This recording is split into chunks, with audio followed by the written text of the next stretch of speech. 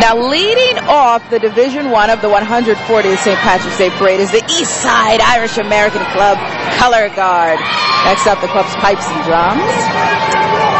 Now, we should tell you they were second place winners last year. That's uh, no easy feat, Paul. They are followed by club leaders and members.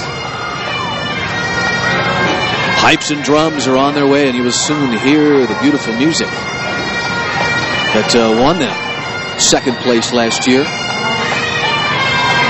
A lot of pride goes into this. A lot of pride goes into marching into this. Yeah, let's give them a listen. Let's pay them their due.